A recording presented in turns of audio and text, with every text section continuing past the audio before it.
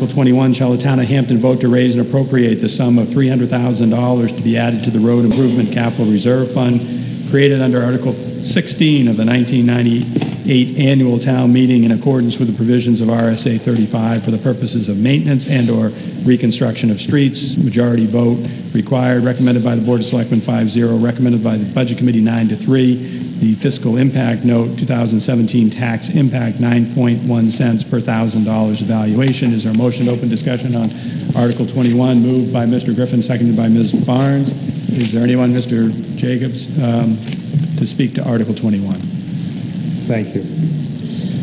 Uh, For the previous four years, the town has voted to place 300000 into this fund, and at present, this fund has in it $1,268,884.81. It's the department's desire to see the fund continue so that it could be used on Lafayette Road in the future for drainage improvements, sidewalk improvements, handicap accessibility, and then paving.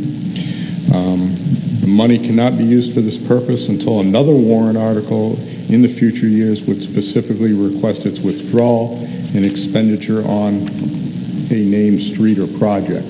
So the public still has the capability, if you will, to direct where these funds go.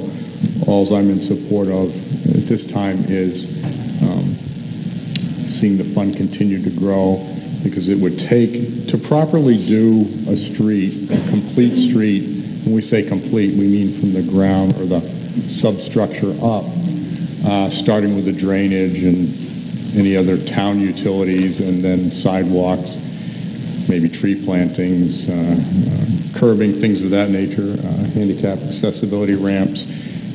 It takes this level of funding and probably more for a longer street to do. So I applaud the town for its foresight and uh, the selectmen for, you know, voters for creating this fund and wish to see it continue. Thank you, Mr. Jacobs. Anyone else wishing to be heard on Article 21?